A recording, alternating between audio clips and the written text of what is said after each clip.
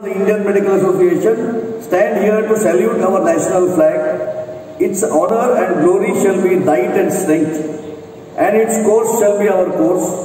We pledge our allegiance to it and realizing our responsibilities as accredited members of this national organization.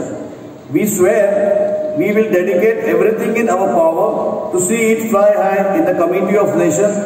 Jai Hind, long live IMA. Thank you. IMA! Long live IMA!